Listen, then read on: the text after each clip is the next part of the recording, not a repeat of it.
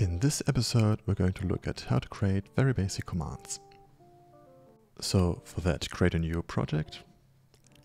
I'm going to call it episode 05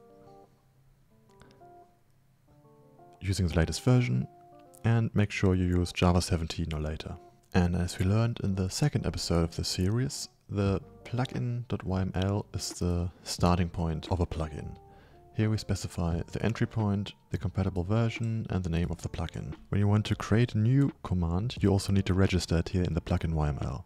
To do that, create a commands section and if you want to create a um, command called fly for example, you just type it here.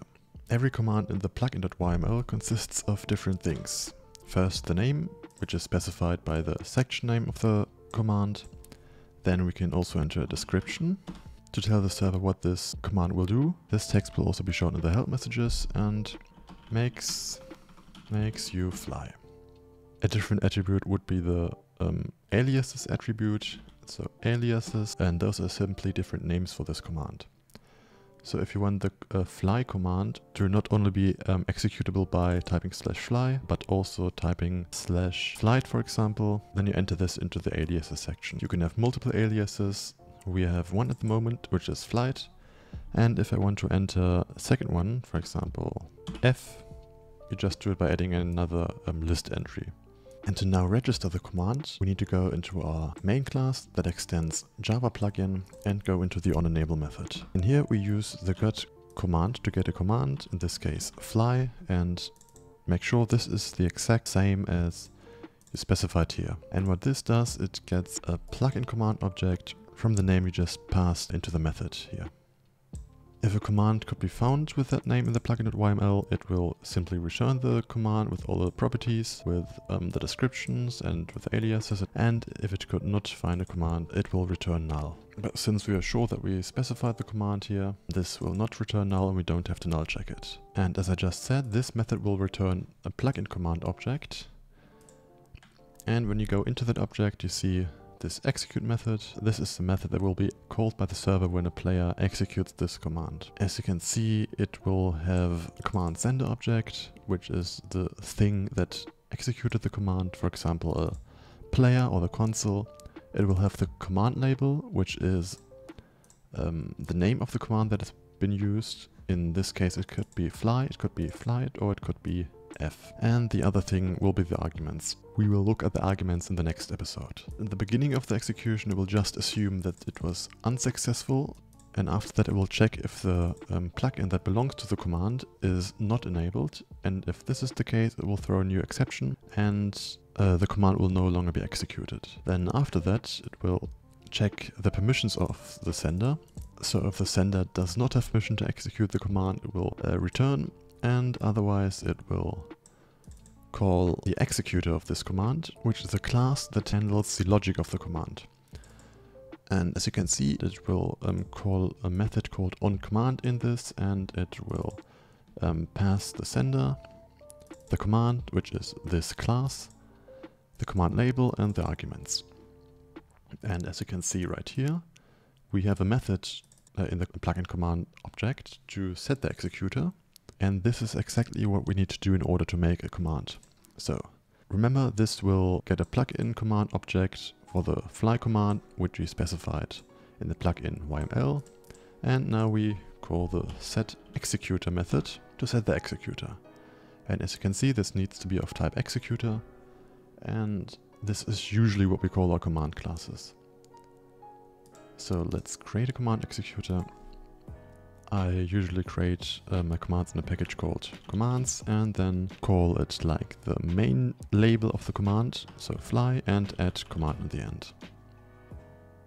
And then as we just saw, this only accepts command executor types, so we need to make so we need to make this class a command executor.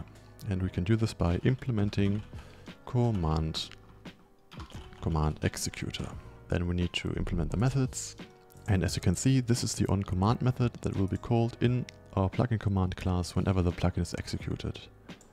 So the executor, this will be our fly command class and of this executor, the server calls the onCommand method, which is this one right here.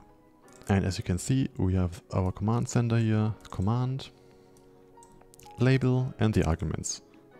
And when we look into the plugin command class again, we can see that um, the success variable is set to the return value of uh, the onCommand method, this one here. So whatever we uh, return in this method uh, will indicate if the command was successful or not. And we can see if it was not successful, the server will just get the usage message and send it to the sender. So it will get uh, the usage message that we defined in the plugin YML. Usually it looks something like this, usage command. This command makes you fly, but we're not going to use it because we're making our own validation system. So back into the fly command class, we can set this to true because we will ignore it as I said a few seconds ago. Now we can begin with the command. This will be a fly command, so only players will be, uh, will be able to execute it. And the first thing we need to do is to make sure that the command sender, so the thing that executed the command, is of type player and nothing else. And in Java we can do it by checking if the sender variable is an instance of player.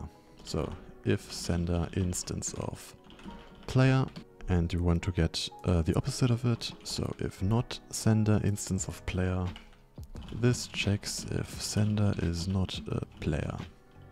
And we are inside uh, this if block if this is true. So here if sender is not a player. And as I said earlier, this is the case that we do not want. So we're going to send the sender a message in red color that only players can execute this command. And then we'll simply return. Return true. And this is basically all we need to make sure that the command can only be run by a player. So we are here if sender is a player. And now we can uh, safely cast the sender variable to a player. So let me create a new player object, final player.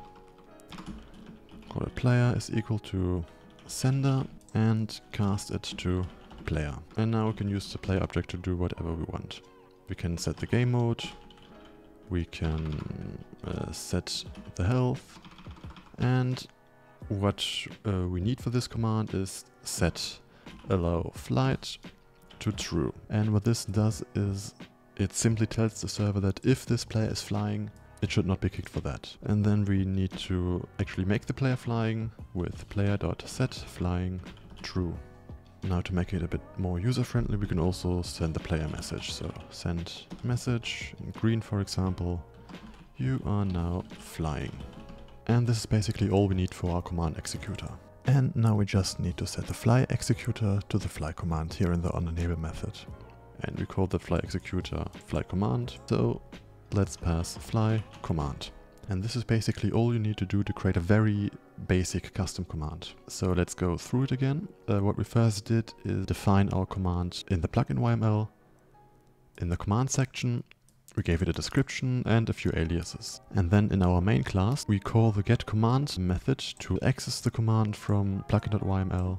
And uh, then we set the executor to fly command. So whenever we run slash fly or slash flight or slash f, the server will forward this traffic to our executor that we defined in our fly command class. And inside the fly command class, we implemented command executor and then we filled out the onCommand method to define our logic of the command. The onCommand method has different parameters. The first one is the command sender. This is the entity that uh, ran the command. This could either be the player or the console or command blocks actually as well. Then this is the command um, object. The next one is the label that has been used. So in our case it could be uh, slash fly, slash flight or slash f. And the next one will be the arguments, which we will take a closer look at in the next episode. Now let's test it in game. So export the plugin as usual. Go to the Maven tab. Lifecycle package. And the plugin jar will be in your targets folder. And if you can't see it by the way, you need to go into the three dots right here. Tree appearance and show excluded files. This one is a plugin jar. And now simply drag and drop it onto the server and start the server. And now on the server make sure that um, the plugin is installed correctly. And now if you run the command slash fly, you can see that we can fly now. And we also don't get any fall damage.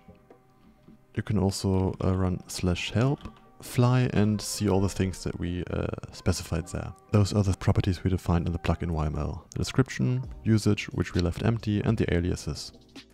And in the next episode, we will take a closer look at commands and learn how to make more complex commands.